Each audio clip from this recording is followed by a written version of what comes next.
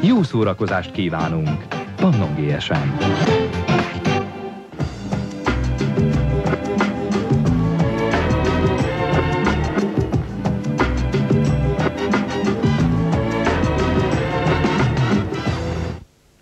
Üdvözlöm Önöket! Ezen a hétvégén sem maradnak program nélkül, az elkövetkezendő 25 percben ugyanis kizárólag olyan dolgokról esik szó, amiket megnézhetnek, meghallgathatnak, elolvashatnak, végigböngészhetnek vagy végig szórakozhatnak. Mindjárt kiderül, milyen állapotban lehetett Elton John, amikor Ajda címen zeneművet írt, és megtudhatják, mit érzett Galko Balázs, miután elszavalta az ezredik Adi verset is. Összehozzuk Önöket DJ Nyullal, aki hétköznap szívesebben hallgat jazzzenét, mint house és megpróbáljuk betájolni, miről is szól a Transdance Táncszínház Cult című előadása. Ezen kívül film, CD és videóidonság az elkövetkezendő 25 percben 72 óra. Very good. A magyar származású Hilda Helvig színházi pályafutását segédszínészként kezdte a Kapusvári Csiki Gergely színházban, majd a 70-es évek végén Svédországba költözött. Azóta rendezőként számos nemzetközi sikerű előadást jegyez. A Katona József Színház meghívására színpadra alkalmazta magyarul a német Hans Fallada regényét Mi lesz veled emberke címmel. A főbb szerepekben Onodi Esztert és Elek Ferencet láthatják. Uraim! Igen, uraim.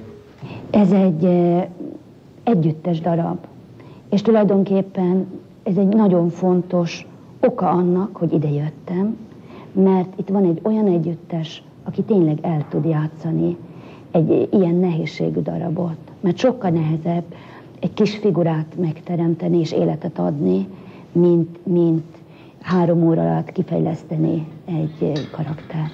Ó, drága angyalkám, de örülök, hogy éppen nem csinál semmit. Nem tudnál egy kicsit nekem segíteni a mosogatásban? Jaj, Hannes várom, mama, bármelyik percben itt lehet. Tényleg? Hol marad ilyen sokáig? A főszereplők egy fiatal pár, aki, mint minden fiatal pár, megházasodnak és boldogan akarnak élni addig, amíg meg nem halnak. És az ő nehézségeikről szól ez a történet. Eh, Abban furcsa, hogy nem arról van szó, hogy itt eh, eh, mindenki meggyilkol mindenkit, amikor elhagyjuk a színházat, eh, tele lesz a színpad vérrel, hanem arról van szó, hogy egy szép történetet hallottak és vittek magukkal. Ugye szép? És nézd meg a tükröt. Különleges. Csiszolt üveg. Ülj le. Amíg hoztuk, egész úton annak örültem, hogy látni fogom, hogy ott ülsz előtte.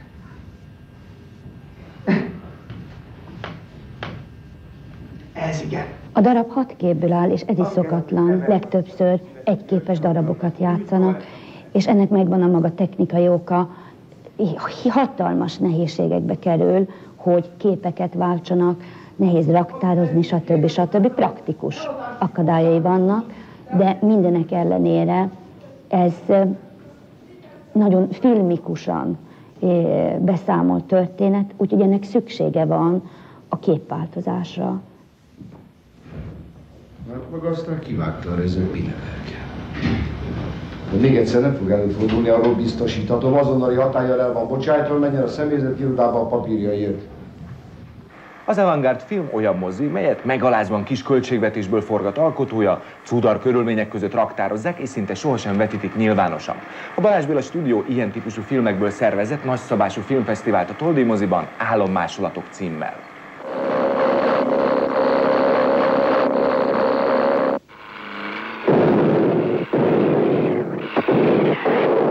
Azok a filmek lesznek itt láthatók, amik, amik általában nem láthatók sehol. Egy héten keresztül igen nagy dózisban, tehát valószínűleg kibír egy éven utána az ember, hogyha a következő dózist meg akarja kapni. Ez egy nemzetközi filmfesztivál, a pontos megismétlése egy olyan fesztiválnak, amit tavaly Londonban zajlott le, egy Közép-Európa Fesztivál keretében, ahol a térség országai, kilenc ország bemutatta azt a filmtermést, amit, amit ez alatt a címszó alatt gondolt eladhatónak.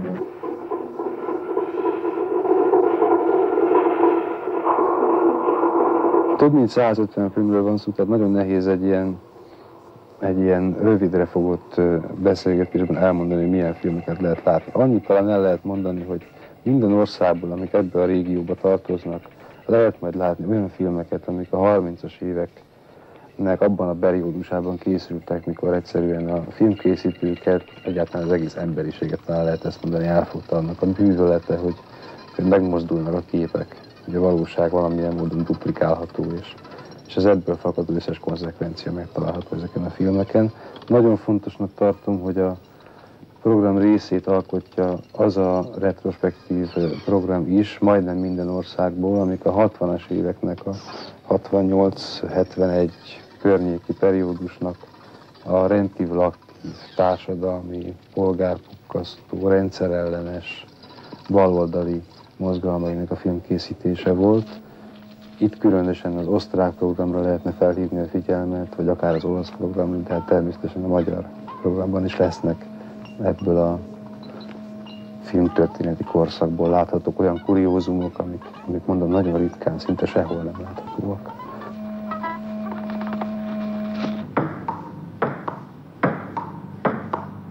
Ezeknek a filmeknek a legfontosabb jellemzője az, hogy, hogy, hogy a, egyrészt az emberi játékosságnak és a kísérletező szellemnek a, a, az eredményeit tartalmazzák. Most a játékosság és a kísérletező szellem azok nagyon kedves gyermeki dolgok, nagyon őszinték, de hát a nagy közönség sohasem erre kíváncsi.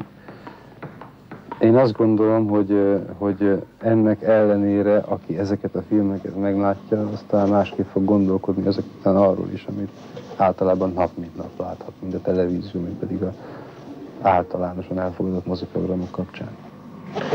Very good. Tökéletes időzítés a kiadótól. A BMG húsvétra megjelentette DJ Nyúl nagy lemezét. A lemezlovasok között nem kis dolognak számít, ha valakinek önálló albuma van.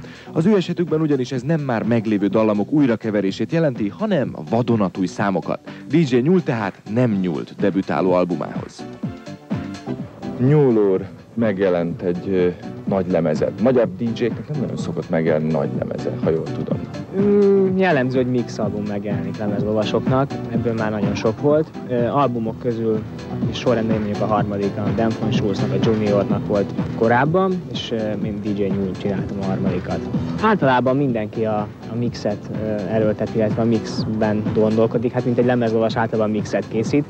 Saját zenéket is csinálnak már lemezlovasok jobbnál jobbakat, de még senki nem vállalkozott arra, hogy igazából senki nem merte elvállalni azt, hogy egy komplet lemez csinál. Igazából én sem egyedül vágtam ebbe bele, hisz minden dal a lemezen valakivel közösen készült, zenész, illetve lemezomos barátaim segítségével. Végül is az összes dalban az én ízlésem tükröződik, tehát aki ezt végighallgatja, és meghallgatja azt, amit például a diszkóban játszom idegen lemezekről, észreveszi a hasonlóságot. Tehát ez az én agyam végül is. Annyiban szerencsésebb így, hogy másokat is megkértem arra, hogy legyenek duett partnerek, mert így minden zene kicsit más, mint a másik. Tehát nem készült egy kaptafára, de lettek szélsőséges esetek, amit lehet, hogy egyedül én nem csináltam volna meg, de például van egy olyan lemezolás kollégám, aki mondjuk dance zenét játszik vele, egy ilyen sokkal slágeresebbet csináltunk, és van például a budai barátom, aki viszont technósabb vele, egy, egy pont egy ilyen house és techno határán lévő zenét készítettünk. Alapvetően ez house zene, ez ugye? Végig, igazából végig house, a house-on belül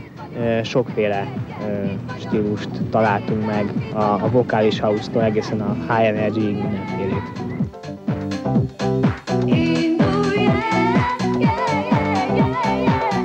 Egyébként egy DJ, hogyha egy lemezt készít, akkor még több zenét hallgat, mint amúgy. Te például hány lemez szoktál egy nap meghallgatni? Ez egy érdekes dolog. Az ember egy olyan két-három napot szán arra, amikor elmegy a lemezboltokba és meghallgatja az újdonságokat, az, az a az érkezéstől függően lehet 10-20, de több száz is. De ezeket függ, külföldről ezeket, megrendeli előre? Hát a, ezeket a boltok megrendelik külföldről előre, és ezek után mi meghallgatjuk, és leválasztjuk azt, ami, ami a mi stílusodnak a legkedvezőbb, illetve a megfelelő. Én általában hétköznap, amikor nem lemezt vásárolok, én nem kifejezetten zenét hallgatok, hanem én szeretek rádiót hallgatni, mert bizonyos szinten a szakmámhoz is tartozik. Másrészt pedig én szeretem a, az ilyen kicsit jazzesebb hangzású zenéket, és én nagyon kedvelem a fúvósokat hallgatni, amik, amik e, igazából nem kapcsolódnak ez a zenéhez, de ez a legtöbb lemezlovas barátom alátámasztja, hogy hétköznap nem kifejezetten ezt a zenét hallgatja ilyen nappal. DJ nyúlt legközelebb élőben pénteken Dunajvárosban a Remix Dance Clubban, szombaton pedig Pécset a Bokácsóban hallhatják az érdeklődők.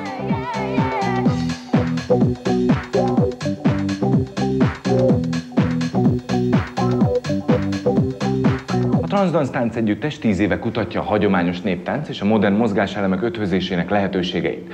Kovács Gerzson Péter és Vámos Veronika hittől játsza Kalt című új előadását a Múszínházban. Ult vagy Kalt. Ez a cím, ez, ez, ez mit akar pontosan? Hát lehet asszociálni szerintem, aki tud angolul az rögtön megfejti. Ha Kaltnak ejtem, akkor angolul ez a kultuszra utal, tudnék azt jelenti. Ha kultnak mondom magyarul, akkor nem jelent semmit, mert ilyen magyar szó nincs.